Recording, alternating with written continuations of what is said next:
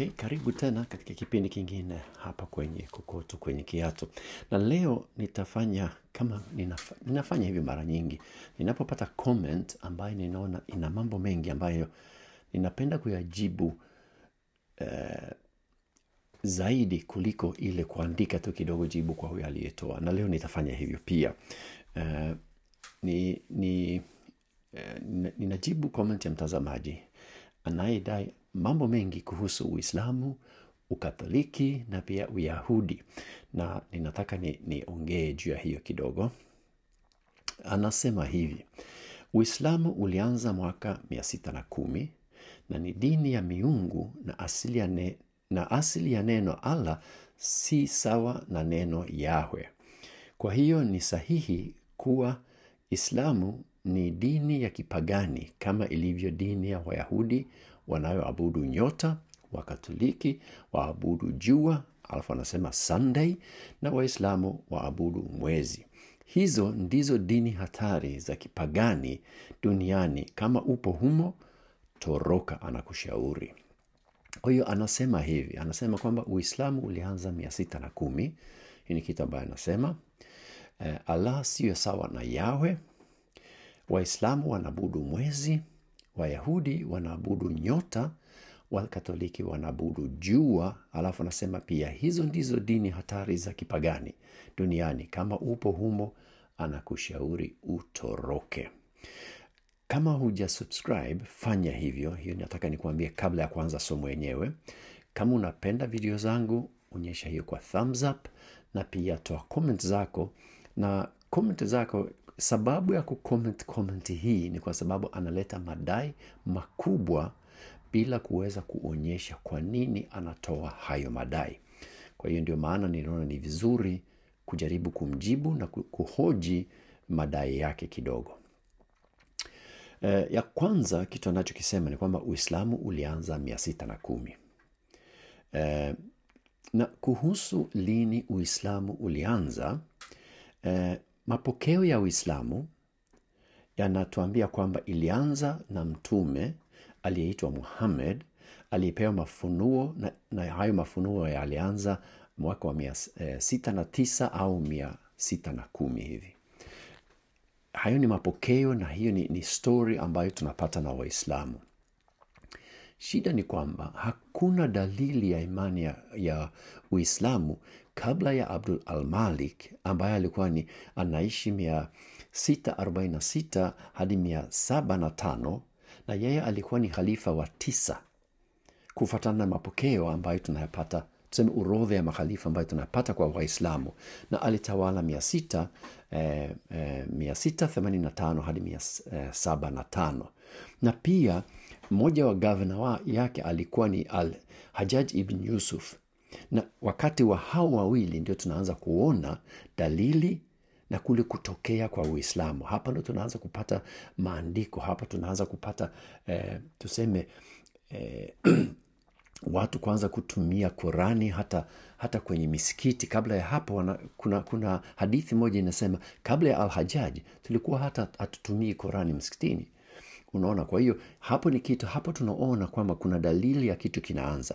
Mahalifa kabla ya Abdul al-Malik walitumia msalaba kama nembo yako, na, na hiyo sasa inaonyesha kwamba au tuseme at least inadokeza kwa nguvu kwamba hao walitangulia Abdul al-Malik hawakuwa Waislamu bali walikuwa ni Wakristo wa aina fulani.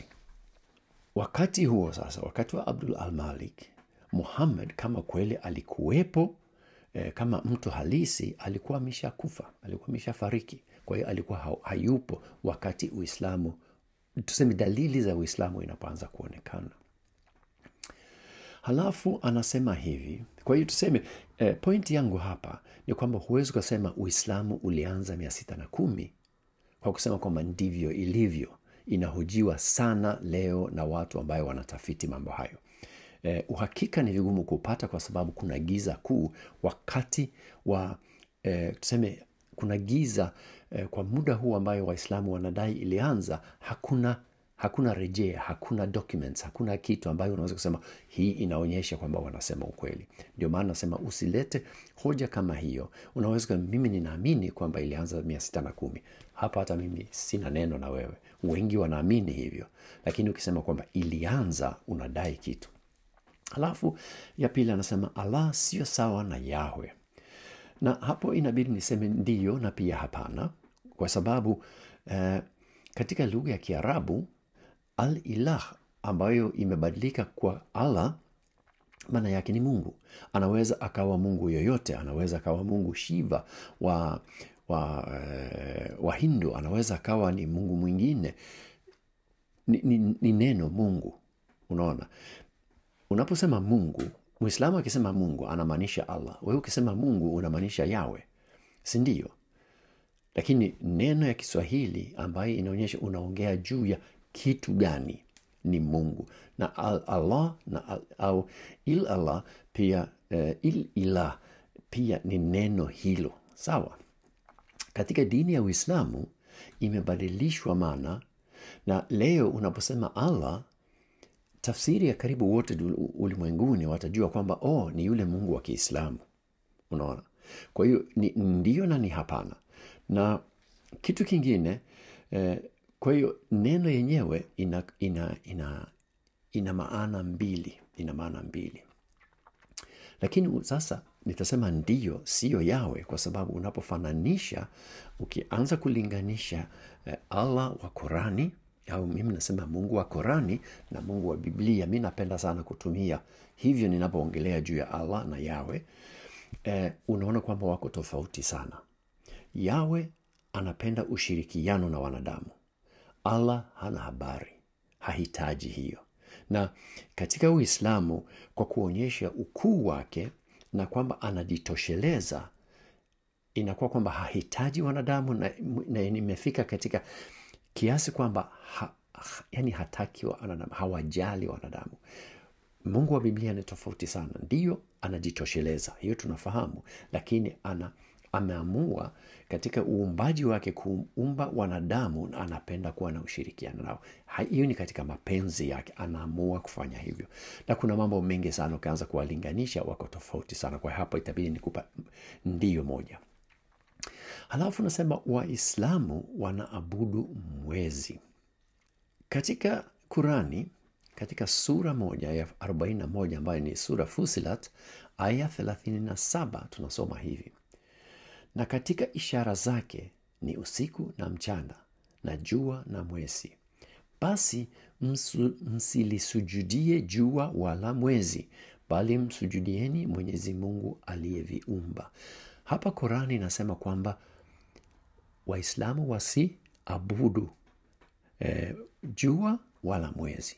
Kwa hiyo unaposema wao wanaabudu mwezi hapo unaenda mbali. Hiyo si- siyo kweli.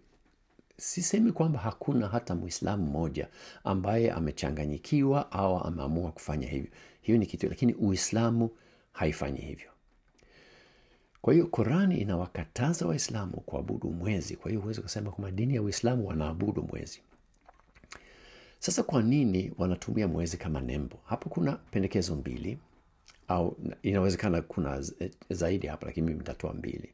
Ya kwanza ni kwa sababu kalenda yao inafuata mwendo wa mwezi ni lunar calendar. Na sikukuu zao na ibada zao zinafuata mwendo huo ndio maana wanafuata mwezi kwa njia hiyo na hiyo pia ni sababu moja ya, ya hiyo mwezi.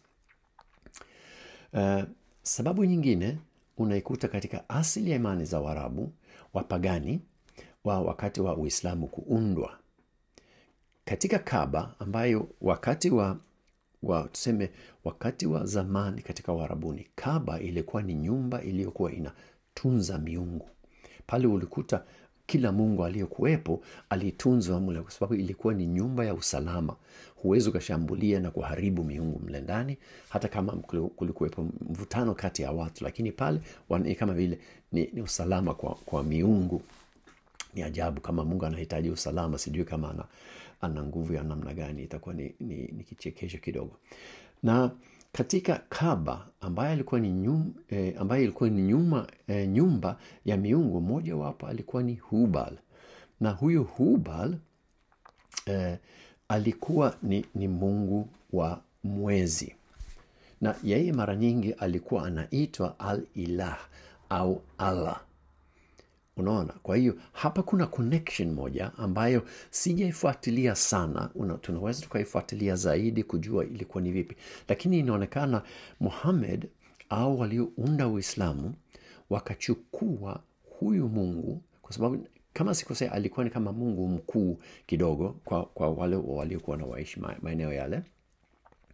Na wakabadilisha kidogo na wakasema ni yeye tu peke yake na sio sio mungu wa, wa mwezi tu ni mungu wa yani walimtengeneza allah lakini wakamtumia huyu ambaye alikuwa ni maarufu na wakaondoa ile hubal waka, wakaweka huyu ndiyo allah huyu ndiye mungu kwa hiyo sio jina tena ka, miongoni mwa miungu bali ni mungu mwenyewe katika uislamu kuna desturi nyingi ukifuatilia unakuta asili yake yapo katika upagani, upagani.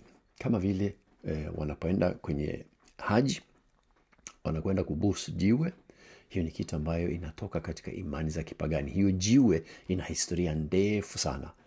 Ina historia ndefu sana. Halafu kuna mambo mengine wanachu, kuna, kuna kitu inaitwa eh, jamarat ni, ni nguzo ambayo wanaitupia mawe eti wanawatupia mashetani. Kuna mambo mengi kama hayo ambayo wanafanya ambayo asili yake inaweza ikawa na sehemu kidogo labda katika biblia kwa namna fulani. Wanajaribu kuitwist kuibadilisha iwe na msingi katika biblia lakini asili kubwa mara nyingi ni katika upagani. Na hiyo ipo katika uislamu. Mimi ninahisi kwamba ishara ya uislamu ya mwezi mpevu inaweza ikawa ni msingi wake katika asili hizo mbili. Hiyo ni, ni, ni hisia zangu kwa, kwa jinsi mimi nilivyofuatilia. Na sisemi kwamba ni hizo tu kuna sijafuatilia sana maana yake ndio nataka kusema hivi. Nimecheki Nime, nimecheki kidogo na nimeweza kuona hiyo ipo na inawezekana kuna sababu nyingine zaidi kwa hiyo unaposema kwamba wanaabudu mwezi hiyo ni kinyume ya maandiko yao na pia sio tabia ambayo nimewahi kusikia muislamu anasema kwamba sisi tunaabudu mwezi. Hiyo, hiyo hapana. Wao wanasema wanamwabudu allah. Ukisema wanamwabudu eh, muhammad hapo ninaweza nikakuunga mkono kidogo kwa sababu hata wanapoomba wanamsalimu muhammad kwa hiyo inawezekana hiyo ipo kidogo. Okay tukiendelea tuna, unasema pia kwamba wayahudi wanaabudu nyota. Na nyota inatumika kama nembo ya wayahudi leo inaitwa nyota ya daudi. Na ingawa kuna watu na hata makundi miongoni mwa wayahudi na nji ya uyahudi eh, eh, hasa katika historia ambayo wameamini kwamba hiyo nyota au nembo hiyo ina nguvu fulani ya kiroho au ya kiuchawi tuseme. Eh, lakini sio kwamba inaambatana ina, na dini ya kiyahudi na kwamba wayahudi wanaitumia na wanaiabudu. Hiyo, hiyo ni mbali sana na ukweli. Eh, wao wanamwabudu yawe na wanamwabudu yawe peke yake. Huyu ni mungu wao. Ni kama vile waislamu wanaabudu allah na wao wanamwabudu yawe peke yake. Hakuna mambo ya utatu kama sisi wa kristo wao ni huyu mmoja tu. Na nembo hiyo na nyota hasa ilipata nguvu katika karne ya ishirini. Na hasa zaidi katika vita kuu ya pili ambapo wajerumani au hitler aliwalazimisha eh, wayahudi kuvaa hiyo nyota kama kitambulisho kwamba wao ni wayahudi. Unaona hapo sasa ikawa kama nembo yao na hiyo wameendelea kuibeba kama ukumbusho lakini pia kama nyota ya ambaye ni ya kitaifa nembo ya kitaifa. Na unaikuta hata kwenye bendera yao hiyo. Lakini hawaiabudu. Hiyo ni kitu kingine ni kinyume na ukweli kabisa. Uh, kwa hiyo kusema wayahudi wanaabudu nyota ni kosa na pia ni udanganyifu. Uh, na inaonyesha kwamba unapotoa hoja kama hiyo hujafuatilia hujasoma rejea za kihistoria hujasoma eh, maandiko ambayo yanahusika na imani ya kiyahudi. Kwa hiyo eh, ningekushauri acha na mambo kama haya kama unaleta hoja ni vizuri sana kuleta hoja na kuhoji imani za watu na fikra za watu. Hiyo sio mbaya mimi naipenda na inaifanya kila siku lakini tafuta hoja zinazokuwa na nguvu na ambayo ni za kweli. Halafu anasema kwamba wakatoliki wanaabudu jua. Uh. hiyo sasa inaonyesha kwamba hujafuatilia kitu hujasoma historia hujajua hata, hata tone ya kitu ambaye ni ukweli. Mara nyingi hoja hii inatumia dini ya kipagani ya kiroma sio kanisa ya kiroma ya kirumi wakati wa karne ya kwanza.